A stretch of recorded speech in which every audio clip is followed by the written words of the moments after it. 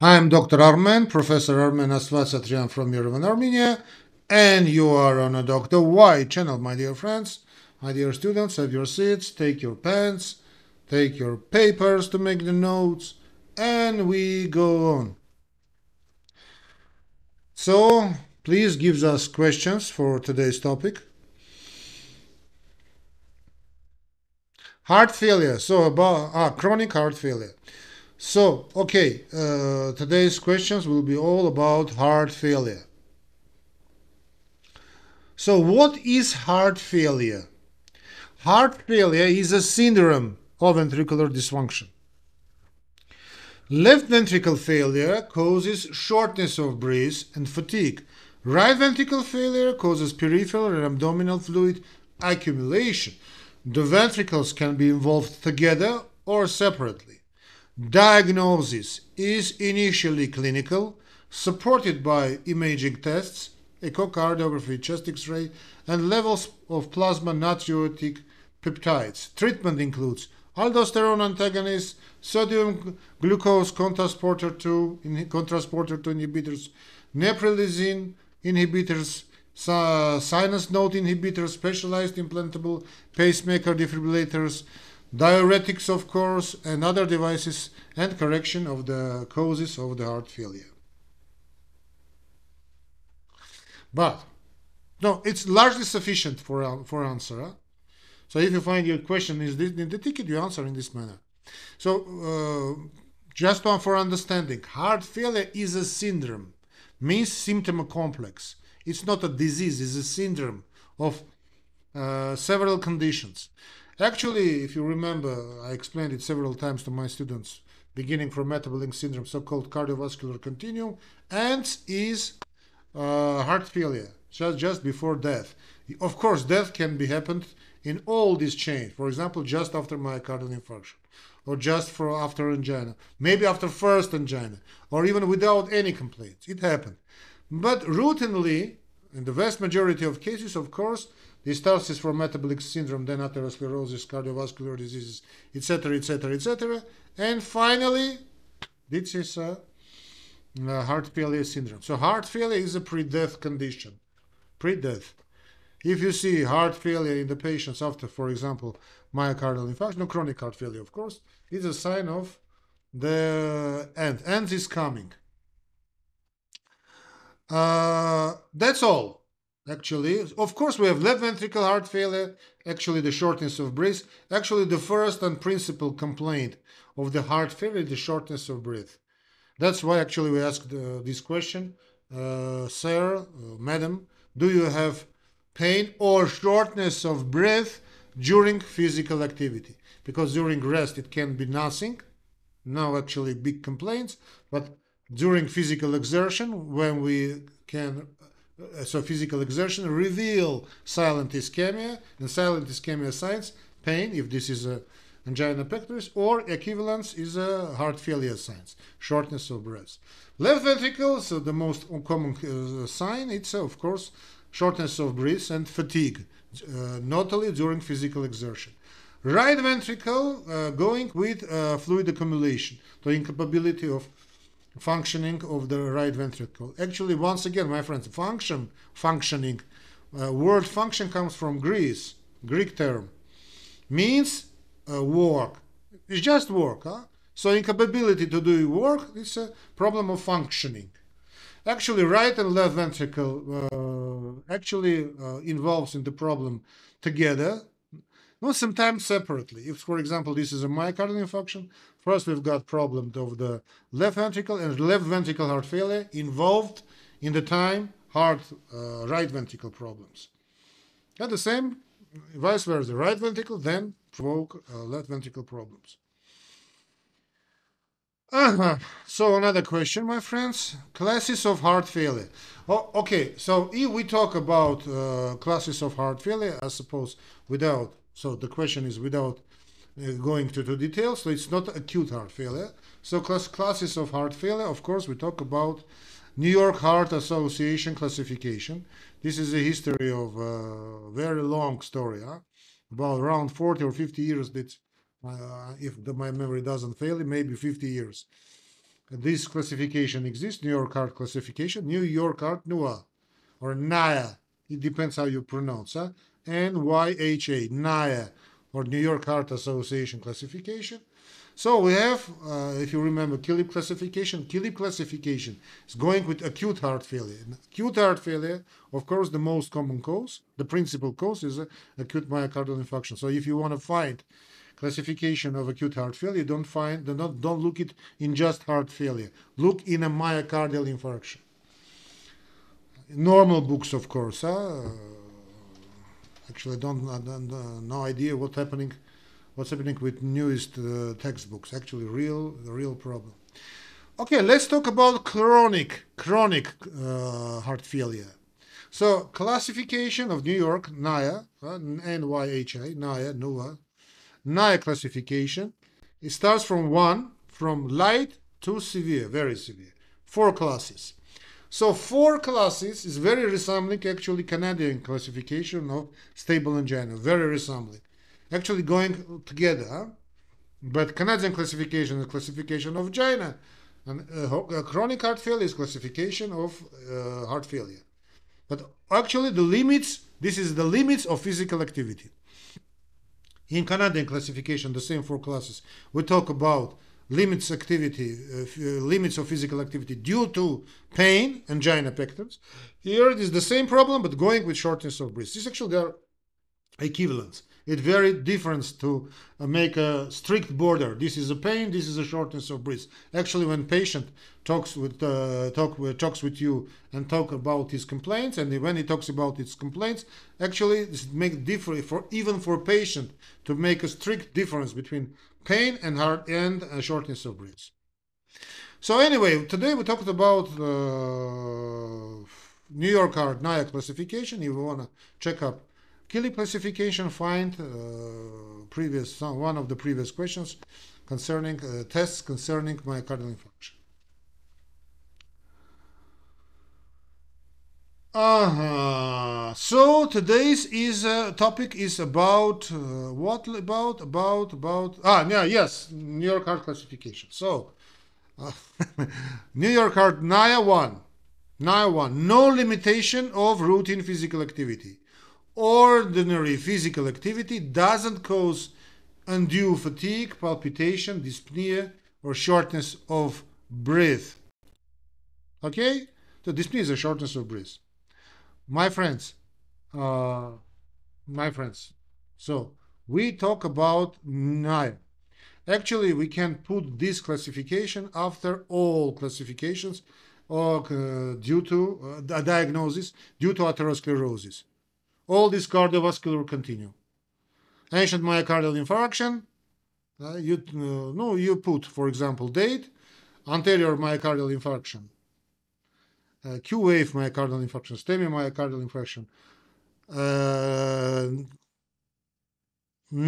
arterial hypertension class, and NIA, NIA 1, NIA 2, NIA 3, it depends. So NIA goes actually with uh, aging also, of course. So class one, anyway, no limitation of everyday activity. Ordinary physical activity doesn't cause uh, undue fatigue. Palpitation, dyspnea, etc., etc.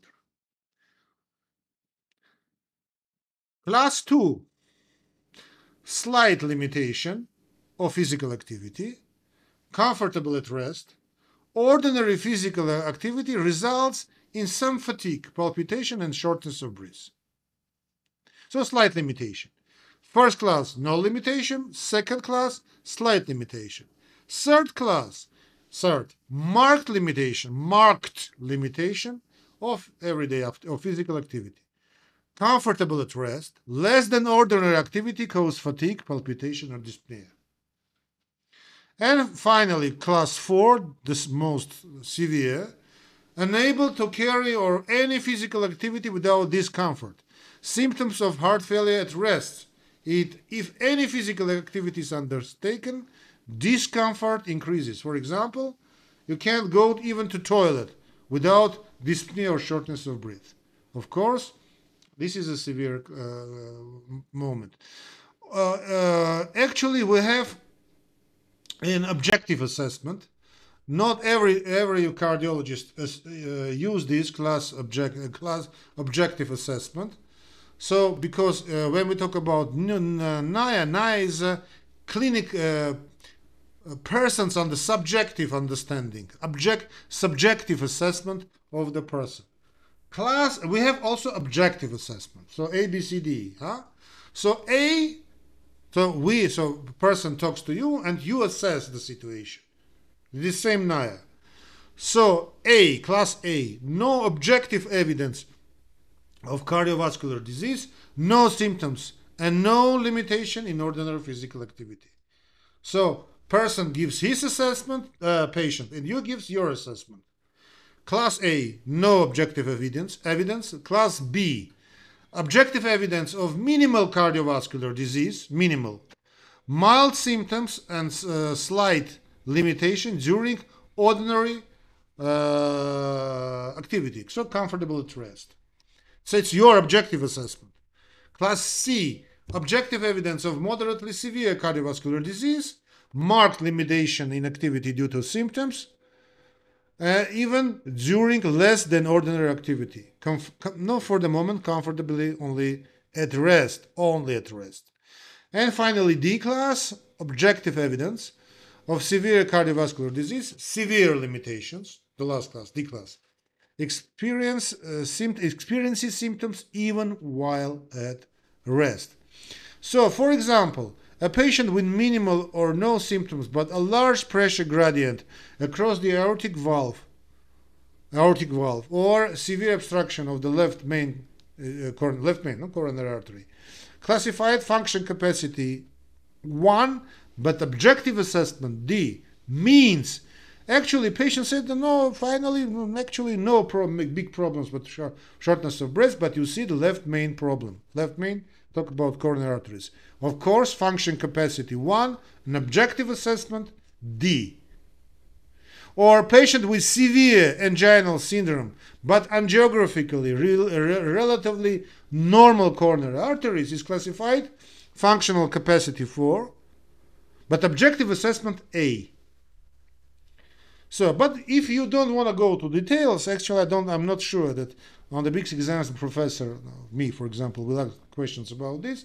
You just can stop on the one, two, three, four NIA classification. So, uh, function capacity uh, based on a uh, person's uh, patient's complaint, or complaints. No, it's for cardiology, actually, objective assessment. But anyway. So next question, please.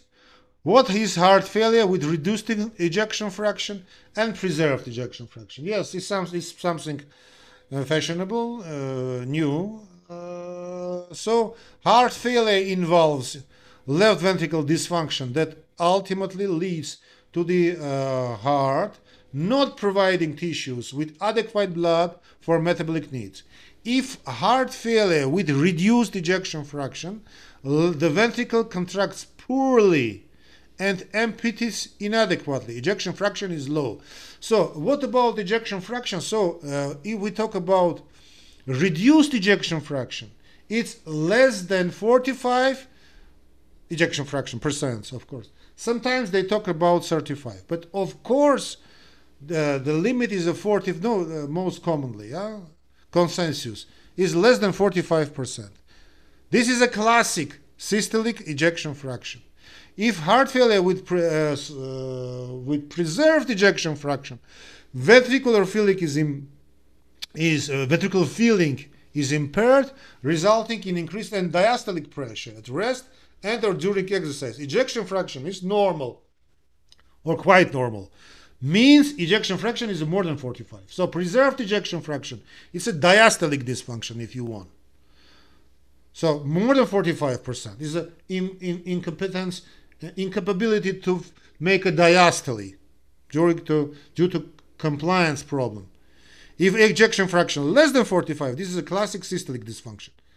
Huh? Incapability to do systole. Next question. When do consider heart failure? Consider heart failure in patients with exertional dyspnea or fatigue, orthopnea, and or edema, particularly in those with a history of a coronary artery disease, notably uh, myocardial infarction, hypertension, or valvular, valvular, valvular disorders or uh, murmurs. Okay? Diagnosis. No, diagnosis, of course, of uh, history, complaints. And objective assessment is uh, imaging tests, uh, of course, uh, typically echocardiography, the best one.